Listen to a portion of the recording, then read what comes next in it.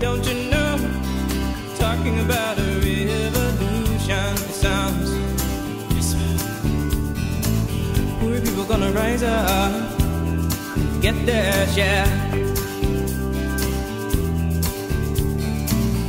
people gonna rise up and take what's theirs. Don't you know you better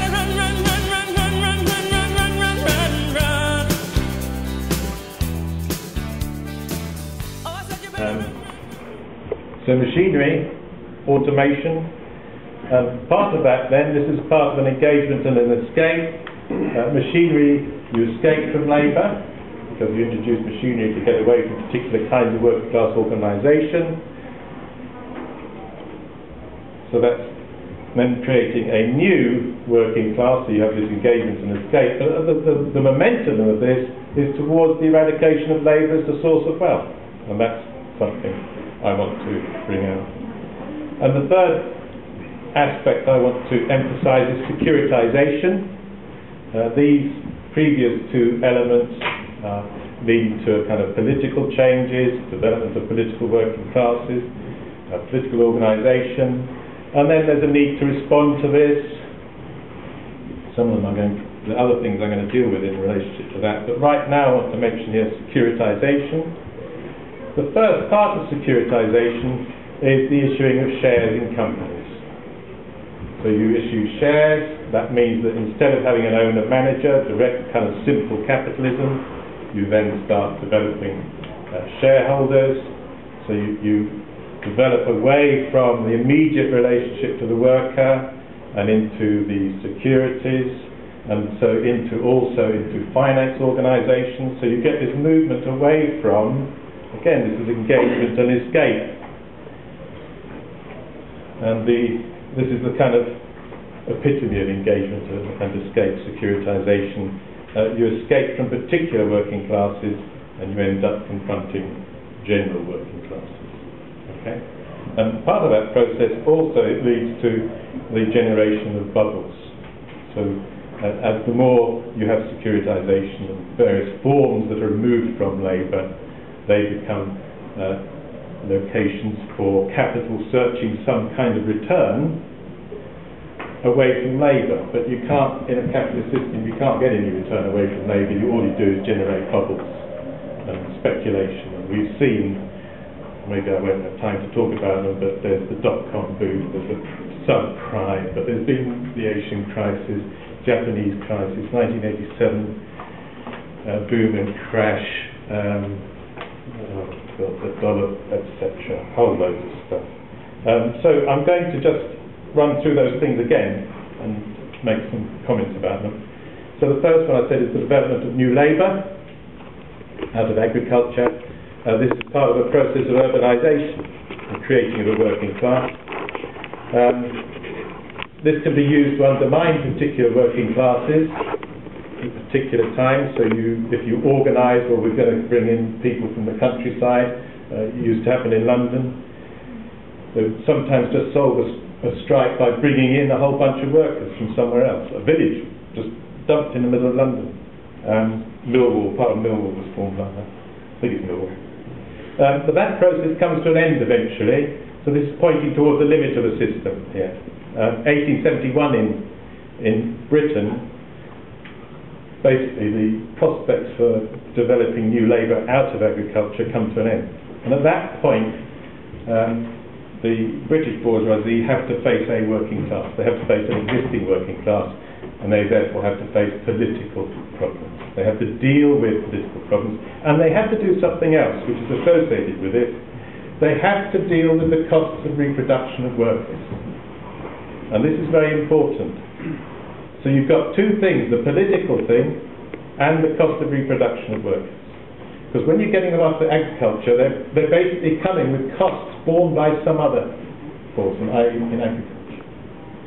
But once you're dealing with a working class that you can't replace, you have to deal with those costs. So then you start getting the movement towards a welfare system in Britain. And it's got these two, two elements, costs, dealing with costs, but once you're dealing with costs, you're talking about needs, and you've got political organisation attached to that, So you're dealing with a political organisation dealing with needs, which can, it, to begin with, it can just simply be the cost of reproduction, i.e., housing, education, health, all these kind of things come out of that kind of issue.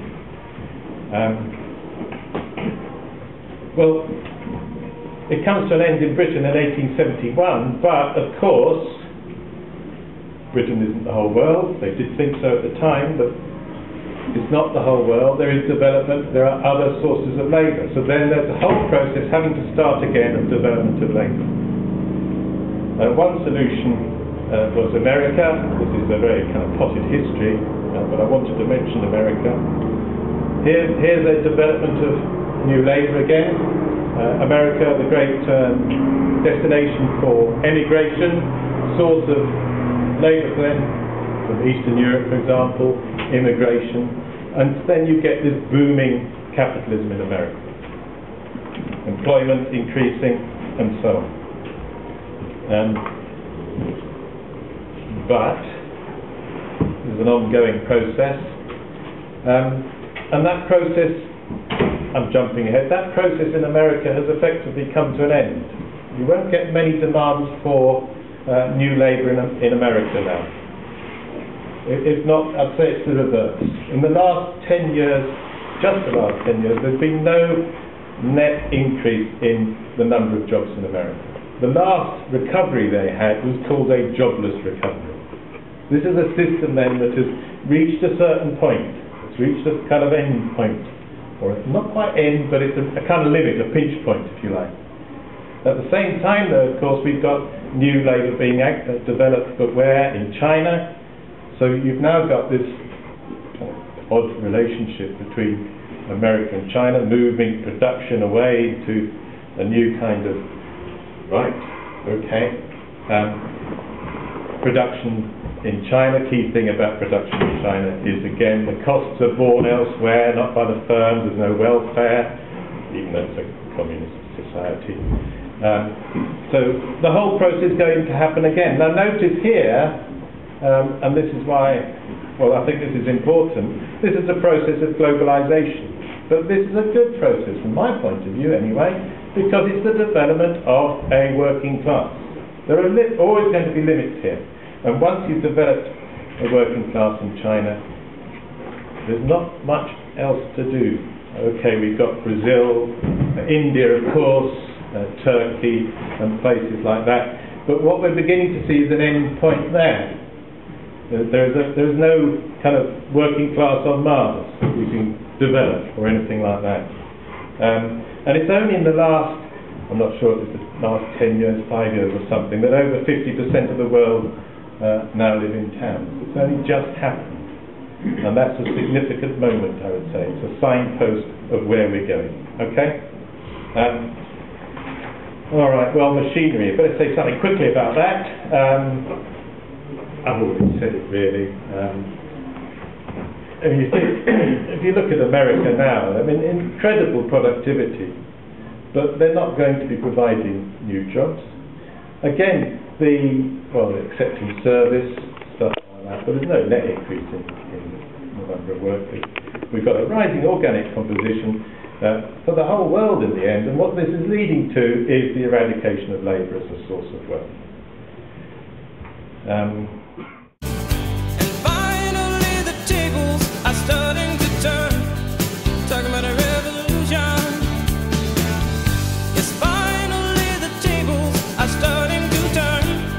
Talking about a revolution, oh no. Talking about a revolution, oh